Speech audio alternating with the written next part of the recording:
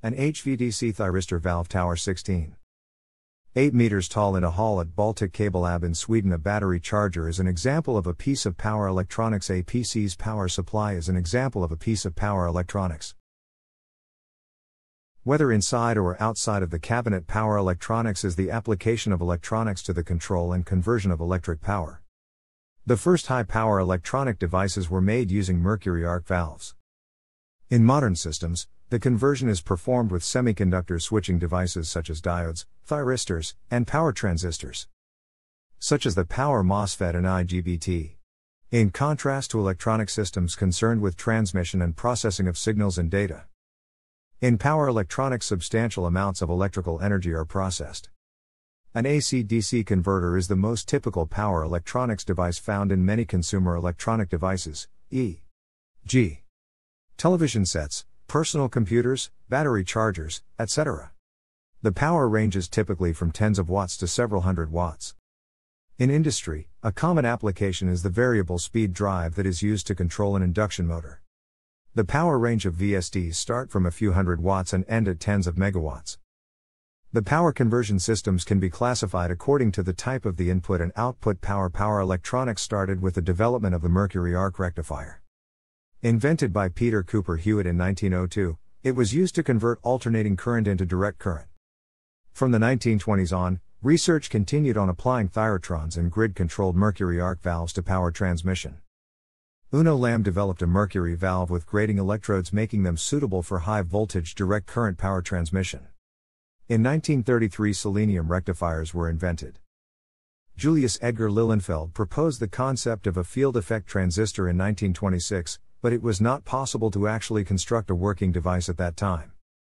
In 1947, the bipolar point contact transistor was invented by Walter H. Brattain and John Bardeen under the direction of William Shockley at Bell Labs. In 1948, Shockley's invention of the bipolar junction transistor improved the stability and performance of transistors and reduced costs. By the 1950s, higher power semiconductor diodes became available and started replacing vacuum tubes. In 1956, the silicon controlled rectifier was introduced by General Electric, greatly increasing the range of power electronics applications. By the 1960s, the improved switching speed of bipolar junction transistors had allowed for high frequency DC/DC converters. R.D. Middlebrook made important contributions to power electronics. In 1970, he founded the Power Electronics Group at Caltech. He developed the state space averaging method of analysis and other tools crucial to modern power electronics design. A breakthrough in power electronics came with the invention of the MOSFET by Mohammed Atalla and Dawon Kahng at Bell Labs in 1959. Generations of MOSFET transistors enabled power designers to achieve performance and density levels not possible with bipolar transistors. Due to improvements in MOSFET technology, the power MOSFET became available in the 1970s. In 1969, Hitachi introduced the first vertical power MOSFET, which would later be known as the VMOS. From 1974, Yamaha, JVC, Pioneer Corporation, Sony, and Toshiba began manufacturing audio amplifiers with power MOSFETs. International Rectifier introduced a 25A, 400V power MOSFET in 1978. This device allows operation at higher frequencies than a bipolar transistor, but is limited to low voltage applications. The power MOSFET is the most common power device in the world, due to its low gate drive power, fast switching speed, easy advanced paralleling capability, wide bandwidth, ruggedness, easy drive, simple biasing, ease of application, and ease of repair. It has a wide range of power electronic applications, such as portable information appliances, power integrated circuits, cell phones, notebook computers, and the communications infrastructure that enables the Internet. In 1982, the insulated gate bipolar transistor was introduced. It became widely available in the 1990s.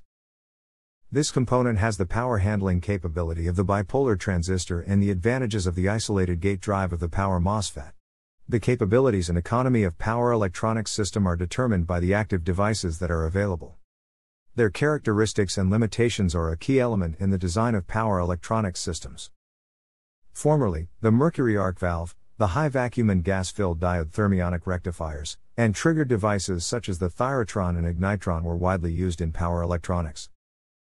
As the ratings of solid state devices improved in both voltage and current handling capacity, vacuum devices have been nearly entirely replaced by solid state devices. Power electronic devices may be used as switches, or as amplifiers. An ideal switch is either open or closed and so dissipates no power, it withstands an applied voltage and passes no current, or passes any amount of current with no voltage drop. Semiconductor devices used as switches can approximate this ideal property, and so most power electronic applications rely on switching devices on and off, which makes systems very efficient as very little power is wasted in the switch. By contrast, in the case of the amplifier, the current through the device varies continuously according to a controlled input. The voltage and current at the device terminals follow a load line, and the power dissipation inside the device is large compared with the power delivered to the load. Several attributes dictate how devices are used. Devices such as diodes conduct when a forward voltage is applied and have no external control of the start of conduction. Power devices such as silicon controlled rectifiers and thyristors allow control of the start of conduction, but rely on periodic reversal of current flow to turn them off. Devices such as gate turn-off thyristors, BJT, and MOSFET transistors provide full switching control and can be turned on or off without regard to the current flow through them. Transistor devices also allow proportional amplification, but this is rarely used for systems rated more than a few hundred watts. The control input characteristics of a device also greatly affect design. Sometimes the control input is at a very high voltage with respect to ground and must be driven by an isolated source. As efficiency is at a premium in a power electronic converter, the losses that a power electronic device generates should be as low as possible. Devices vary in switching speed. Some diodes and thyristors are suited for relatively slow speed and are useful for power frequency switching and control. Certain thyristors are useful at a few kilohertz. Devices such as MOSFETs and BJTs can switch at tens of kilohertz up to a few megahertz in power applications, but with decreasing power levels. Vacuum tube devices dominate high power at very high frequency applications. Faster switching devices minimize energy lost in the transitions from on to off and back, but may create problems with radiated electromagnetic interference. Gate drive circuits must be designed to supply sufficient drive current to achieve the full switching speed possible with a device. A device without sufficient drive to switch rapidly may be destroyed by excess heating. Practical devices have non zero voltage drop and dissipate power when on, and take some time to pass through an active region until they reach the on or off state. These losses are a significant part of the total lost power in a converter. Power handling and dissipation of devices is also a critical factor in design. Power electronic devices may have to dissipate tens or hundreds of watts of waste heat, even switching as efficiently as possible between conducting and non conducting states. In the switching mode, the power controlled is much larger than the power dissipated in the switch. The forward voltage drop in the conducting state translates into heat that must be dissipated. High power semiconductors require specialized heat sinks or active cooling systems to manage their junction temperature. Exotic semiconductors such as silicon carbide have an advantage over straight silicon in this respect. And germanium, once the mainstay of solid state electronics, is now little used due to its unfavorable high temperature properties. Semiconductor devices exist with ratings up to a few kilovolts in a single device. Where very high voltage must be controlled, multiple devices must be used in series, with networks to equalize voltage across all devices. Again, switching speed is a critical factor since the slowest switching device will have to withstand a disproportionate share of the overall voltage. Mercury valves were once available with ratings to 100 kV in a single unit, simplifying their application in HVDC systems. The current rating of a semiconductor device is limited by the heat generated within the dies and the heat developed in the resistance of the interconnecting leads. Semiconductor devices must be designed so that current is evenly distributed within the device across its internal junctions. Once a hot spot develops, breakdown effects can rapidly destroy the device. Certain SCRs are available with current ratings to 3000 amperes in a single unit. DC to AC converters produce an AC output waveform from a DC source. Applications include adjustable speed drives, uninterruptible power supplies, flexible AC transmission systems, voltage compensators, and photovoltaic inverters. Topologies for these converters can be separated into two distinct categories voltage source inverters and current source inverters. Voltage source inverters are named so because the independently controlled output is a voltage waveform. Similarly, current source inverters are distinct in that the controlled AC output is a current waveform.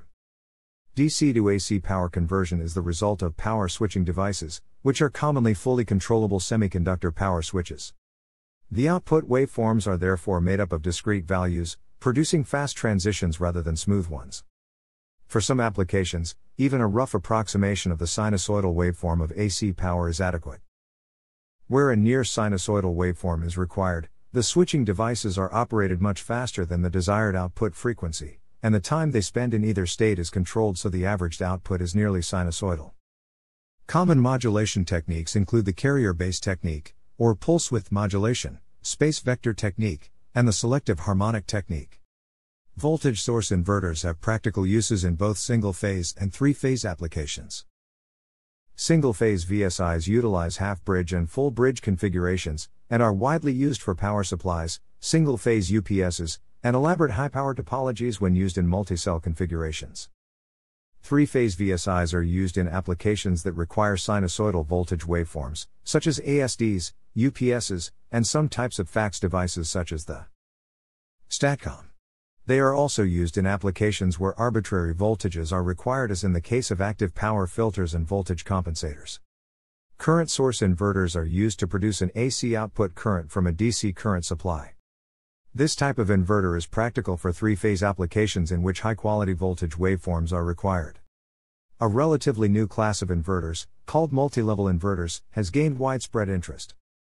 Normal operation of CSIs and VSIs can be classified as two level inverters, due to the fact that power switches connect to either the positive or to the negative DC bus.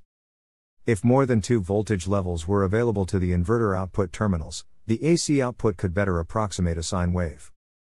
It is for this reason that multi level inverters, although more complex and costly, offer higher performance. Each inverter type differs in the DC links used, and in whether or not they require freewheeling diodes.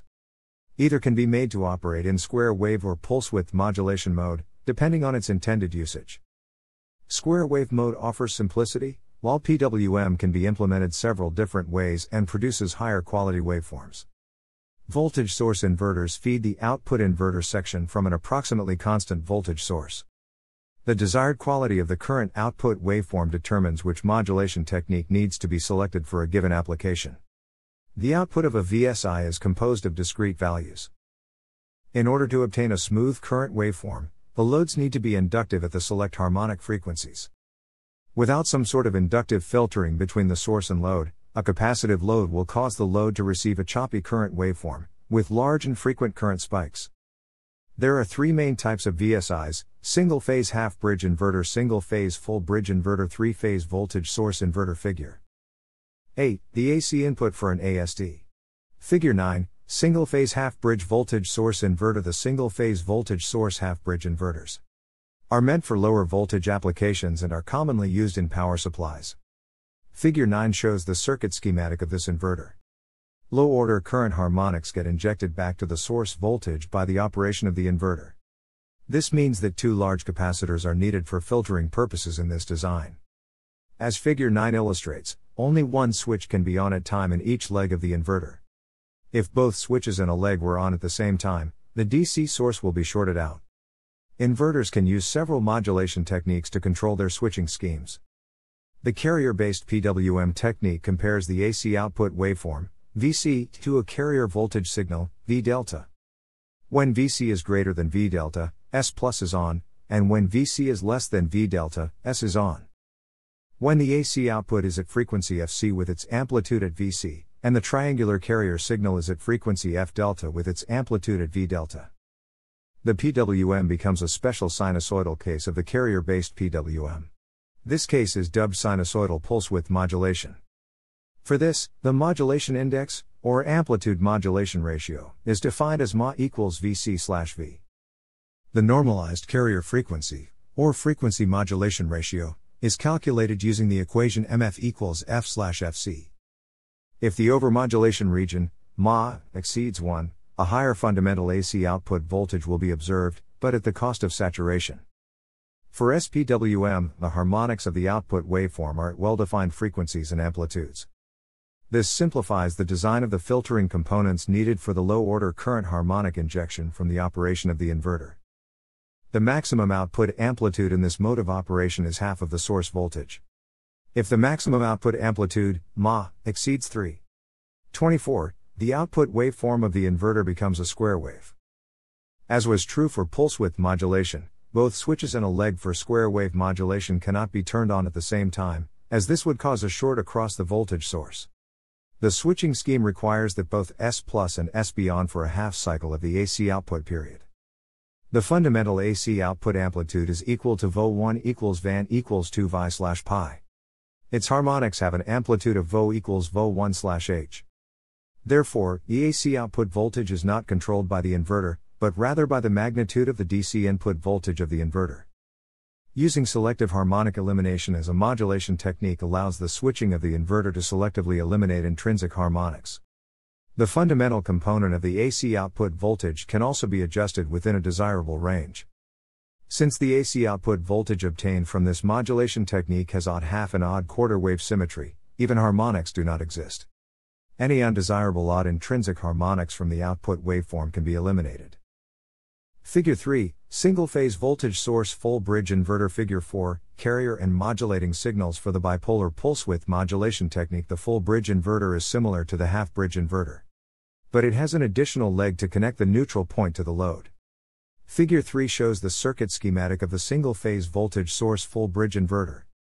To avoid shorting out the voltage source, S1 plus and S1 cannot be on at the same time, and S2 plus and S2 also cannot be on at the same time. Any modulating technique used for the full bridge configuration should have either the top or the bottom switch of each leg on at any given time. Due to the extra leg, the maximum amplitude of the output waveform is Vi, and is twice as large as the maximum achievable output amplitude for the half bridge configuration. States 1 and 2 from Table 2 are used to generate the AC output voltage with bipolar SPWM. The AC output voltage can take on only two values, either Vi or Vi.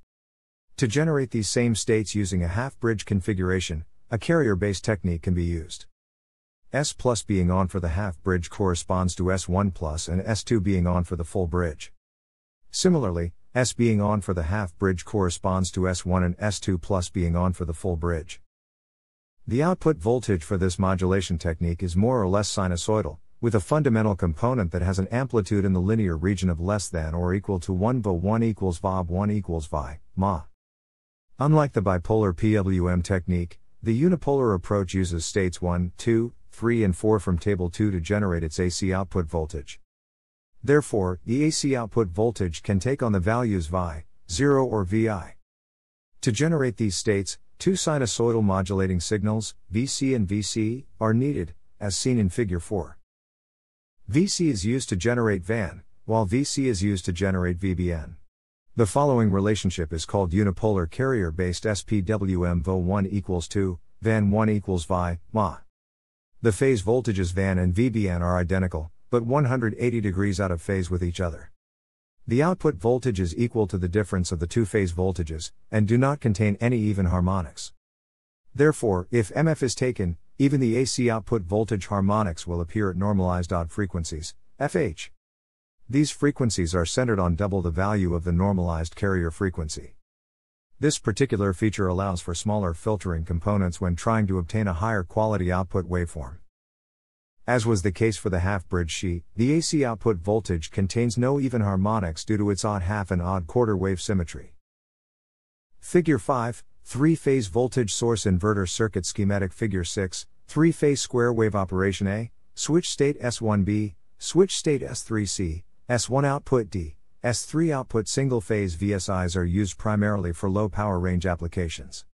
While three phase VSIs cover both medium and high power range applications. Figure 5 shows the circuit schematic for a three phase VSI. Switches in any of the three legs of the inverter cannot be switched off simultaneously due to this resulting in the voltages being dependent on the respective line current's polarity. State 7 and 8 produce zero AC line voltages, which result in AC line currents freewheeling through either the upper or the lower components.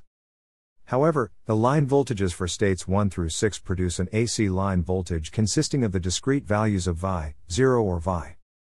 For three phase SPWM, Three modulating signals that are 120 degrees out of phase with one another are used in order to produce out of phase load voltages. In order to preserve the PWM features with a single carrier signal, the normalized carrier frequency, MF, needs to be a multiple of 3. This keeps the magnitude of the phase voltages identical, but out of phase with each other by 120 degrees. The maximum achievable phase voltage amplitude in the linear region, ma less than or equal to 1, is phase equals Vi, 2. The maximum achievable line voltage amplitude is VOB 1 equals VOB 3. 2. The only way to control the load voltage is by changing the input DC voltage. Figure 7, three-phase current source inverter Figure 8, synchronized pulse width modulation waveforms for a three-phase current source inverter A, carrier and modulating signals B. S1 state C, S3 state D, output current Figure 9, space vector representation in current source inverters Current source inverters convert DC current into an AC current waveform. In applications requiring sinusoidal AC waveforms, magnitude, frequency, and phase should all be controlled.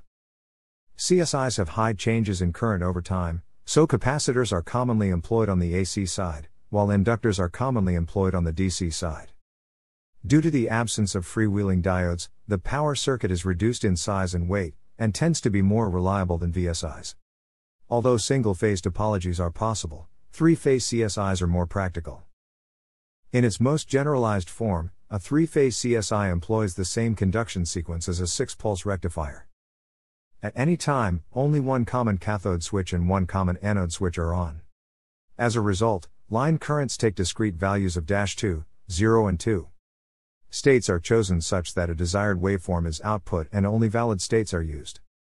This selection is based on modulating techniques, which include carrier based PWM, selective harmonic elimination, and space vector techniques. Carrier based techniques used for VSIs can also be implemented for CSIs, resulting in CSI line currents that behave in the same way as VSI line voltages. The digital circuit utilized for modulating signals contains a switching pulse generator, a shorting pulse generator, a shorting pulse distributor, and a switching and shorting pulse combiner. A gating signal is produced based on a carrier current and three modulating signals. A shorting pulse is added to this signal when no top switches and no bottom switches are gated, causing the RMS currents to be equal in all legs. The same methods are utilized for each phase, however, switching variables are 120 degrees out of phase relative to one another, and the current pulses are shifted by a half cycle with respect to output currents. If a triangular carrier is used with sinusoidal modulating signals, the CSI is said to be utilizing synchronized pulse width modulation. If full over modulation is used in conjunction with SPWM, the inverter is said to be in square wave operation. The second CSI modulation category, SHI is also similar to its VSI counterpart. Utilizing the gating signals developed for a VSI and a set of synchronizing sinusoidal current signals, results in symmetrically distributed shorting pulses and, therefore, symmetrical gating patterns.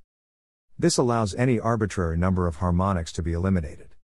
It also allows control of the fundamental line current through the proper selection of primary switching angles.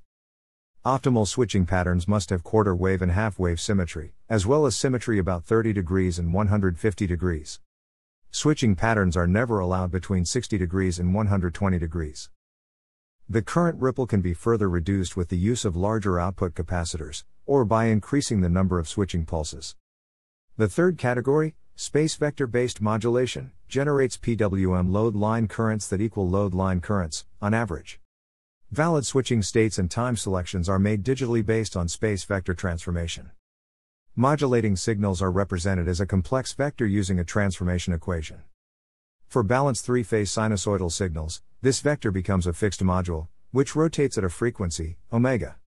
These space vectors are then used to approximate the modulating signal. If the signal is between arbitrary vectors, the vectors are combined with the zero vectors I7, I8, or I9. The following equations are used to ensure that the generated currents and the current vectors are on average equivalent. Figure 10, three-level neutral clamped inverter a relatively new class called multi-level inverters has gained widespread interest. Normal operation of CSIs and VSIs can be classified as two-level inverters because the power switches connect to either the positive or the negative DC bus. If more than two voltage levels were available to the inverter output terminals, the AC output could better approximate a sine wave. For this reason multi-level inverters, although more complex and costly, offer higher performance. A three level neutral clamped inverter is shown in Figure 10. Control methods for a three level inverter only allow two switches of the four switches in each leg to simultaneously change conduction states. This allows smooth commutation and avoids shoot through by only selecting valid states.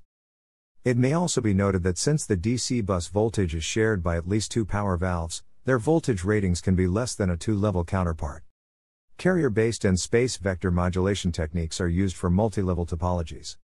The methods for these techniques follow those of classic inverters, but with added complexity. Space vector modulation offers a greater number of fixed voltage vectors to be used in approximating the modulation signal, and therefore allows more effective space vector PWM strategies to be accomplished at the cost of more elaborate algorithms. Due to added complexity and number of semiconductor devices, multi level inverters are currently more suitable for high power, high voltage applications. This technology reduces the harmonics hence improves overall efficiency of the scheme.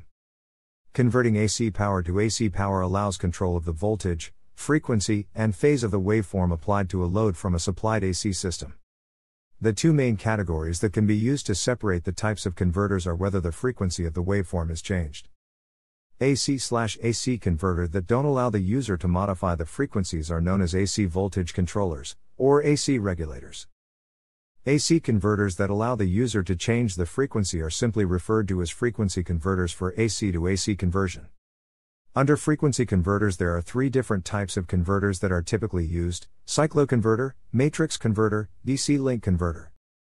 AC voltage controller The purpose of an AC voltage controller, or AC regulator, is to vary the RMS voltage across the load while at a constant frequency. Three control methods that are generally accepted are on slash off control, phase angle control, and pulse width modulation AC chopper control. All three of these methods can be implemented not only in single phase circuits, but three phase circuits as well. Matrix converters and cycloconverters. Cycloconverters are widely used in industry for AC to AC conversion, because they are able to be used in high power applications. They are commutated direct frequency converters that are synchronized by a supply line. The cycloconverter's output voltage waveforms have complex harmonics with the higher order harmonics being filtered by the machine inductance. Causing the machine current to have fewer harmonics, while the remaining harmonics causes losses in torque pulsations. Note that in a cycloconverter, unlike other converters, there are no inductors or capacitors, i.e., no storage devices. For this reason, the instantaneous input power and the output power are equal. With recent device advances, newer forms of cycloconverters are being developed, such as matrix converters. The first change that is first noticed is that matrix converters utilize bidirectional, bipolar switches.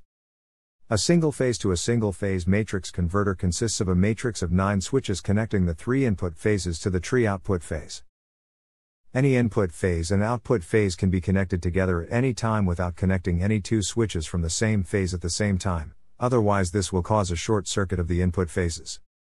Matrix converters are lighter, more compact, and versatile than other converter solutions. As a result, they are able to achieve higher levels of integration, higher temperature operation, broad output frequency, and natural bidirectional power flow suitable to regenerate energy back to the utility. The matrix converters are subdivided into two types direct and indirect converters. A direct matrix converter with three phase input and three phase output. The switches in a matrix converter must be bidirectional, that is, they must be able to block voltages of either polarity and to conduct current in either direction. This switching strategy permits the highest possible output voltage and reduces the reactive line side current. Therefore, the power flow through the converter is reversible. Because of its commutation problem and complex control, keep it from being broadly utilized in industry. Unlike the direct matrix converters, the indirect matrix converters has the same functionality, but uses separate input and output sections that are connected through a DC link without storage elements. The design includes a four quadrant current source rectifier and a voltage source inverter. The input section consists of bidirectional bipolar switches. The commutation strategy can be applied by changing the switching state of the input section while the output section is in a freewheeling mode. This commutation algorithm is significantly less complexity and higher reliability as compared to a conventional direct matrix converter. DC link converters, DC link converters, also referred to as AC-DC, AC converters, convert an AC input to an AC output with the use of a DC link in the middle. Meaning that the power in the converter is converted to DC from AC with the use of a rectifier, and then it is converted back to AC from DC with the use of an inverter. The end result is an output with a lower voltage and variable frequency. Due to their wide area of application, the AC-DC, AC converters are the most common contemporary solution. Other advantages to AC-DC, AC converters is that they are stable in overload and no load conditions, as well as they can be disengaged from a load without damage. Hybrid matrix converter Hybrid matrix converters are relatively new for AC/AC converters. These converters combine the AC-DC, AC design with the matrix converter design. Multiple types of hybrid converters have been developed in this new category, an example being a converter that uses unidirectional switches and two converter stages without the DC link, without the capacitors or inductors needed for a DC link. The weight and size of the converter is reduced. Two subcategories exist from the hybrid converters, named hybrid direct matrix converter and hybrid indirect matrix converter. HDMC convert the voltage and current in one stage, while the HIMC utilizes separate stages, like the AC-DC, AC converter, but without the use of an intermediate storage element. Applications Below is a list of common applications that each converter is used in. Output voltage of a full wave rectifier with controlled thyristors power electronic circuits are simulated using computer simulation programs such as PLECS, PSIM and MATLAB Simulink. Circuits are simulated before they are produced to test how the circuits respond under certain conditions. Also, creating a simulation is both cheaper and faster than creating a prototype to use for testing.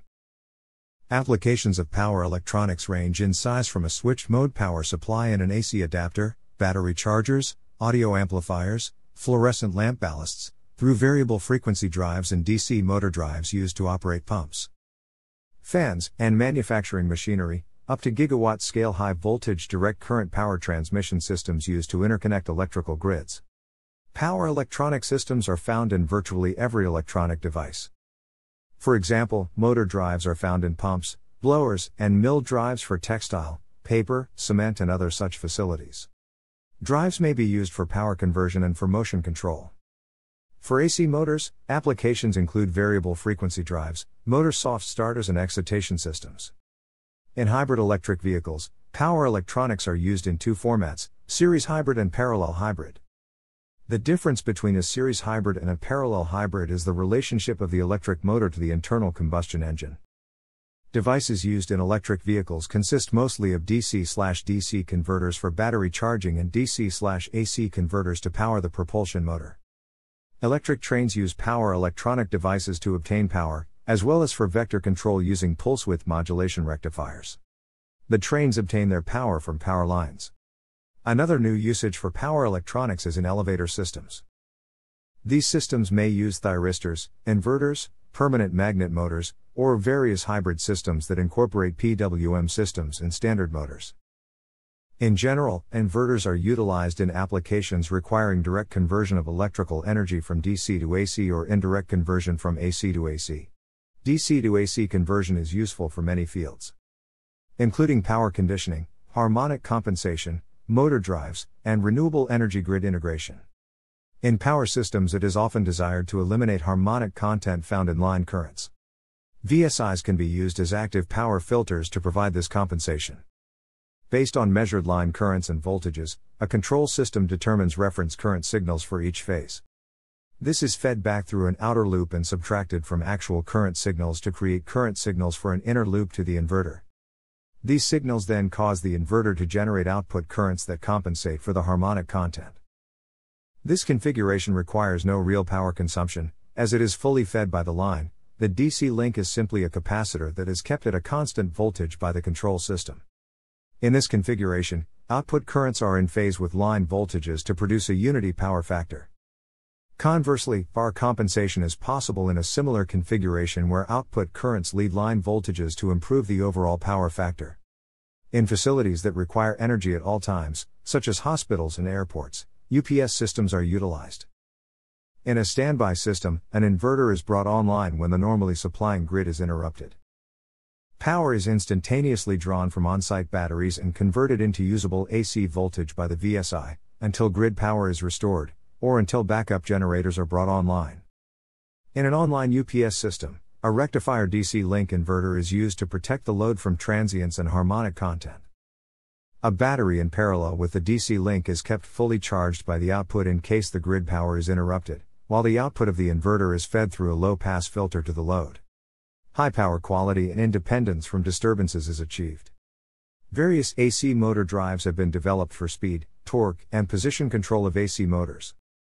These drives can be categorized as low performance or as high performance, based on whether they are scalar controlled or vector controlled, respectively. In scalar controlled drives, fundamental stator current, or voltage frequency and amplitude, are the only controllable quantities. Therefore, these drives are employed in applications where high quality control is not required, such as fans and compressors. On the other hand, vector controlled drives allow for instantaneous current and voltage values to be controlled continuously. This high performance is necessary for applications such as elevators and electric cars. Inverters are also vital to many renewable energy applications. In photovoltaic purposes, the inverter, which is usually a PWM VSI, gets fed by the DC electrical energy output of a photovoltaic module or array. The inverter then converts this into an AC voltage to be interfaced with either a load or the utility grid. Inverters may also be employed in other renewable systems, such as wind turbines.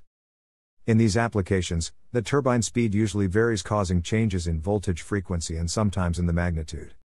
In this case, the generated voltage can be rectified and then inverted to stabilize frequency and magnitude. A smart grid is a modernized electrical grid that uses information and communications technology to gather and act on information, such as information about the behaviors of suppliers and consumers, in an automated fashion to improve the efficiency, reliability, economics, and sustainability of the production and distribution of electricity. Electric power generated by wind turbines and hydroelectric turbines by using induction generators can cause variances in the frequency at which power is generated. Power electronic devices are utilized in these systems to convert the generated AC voltages into high voltage direct current. The HVDC power can be more easily converted into three phase power that is coherent with the power associated to the existing power grid. Through these devices, the power delivered by these systems is cleaner and has a higher associated power factor. Wind power systems' optimum torque is obtained either through a gearbox or direct drive technologies that can reduce the size of the power electronics device. Electric power can be generated through photovoltaic cells by using power electronic devices. The produced power is usually then transformed by solar inverters. Inverters are divided into three different types central, module integrated, and string. Central converters can be connected either in parallel or in series on the DC side of the system.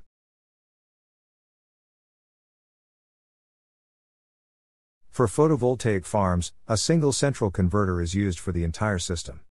Module integrated converters are connected in series on either the DC or AC side. Normally, several modules are used within a photovoltaic system, since the system requires these converters on both DC and AC terminals. A string converter is used in a system that utilizes photovoltaic cells that are facing different directions. It is used to convert the power generated to each string, or line, in which the photovoltaic cells are interacting. Power electronics can be used to help utilities adapt to the rapid increase in distributed residential slash commercial solar power generation. Germany and parts of Hawaii, California, and New Jersey require costly studies to be conducted before approving new solar installations. Relatively small scale ground or pole mounted devices create the potential for a distributed control infrastructure to monitor and manage the flow of power. Traditional electromechanical systems, such as capacitor banks or voltage regulators at substations, can take minutes to adjust voltage and can be distant from the solar installations where the problems originate. If voltage on a neighborhood circuit goes too high, it can endanger utility crews and cause damage to both utility and customer equipment. Further, a grid fault causes photovoltaic generators to shut down immediately, spiking demand for grid power. Smart grid based regulators are more controllable than far more numerous consumer devices. In another approach, a group of 16 Western utilities called the Western Electric Industry Leaders called for mandatory use of smart inverters. These devices convert DC to household AC and can also help with power quality. Such devices could eliminate the need for expensive utility equipment upgrades at a much lower total cost. Thanks for watching.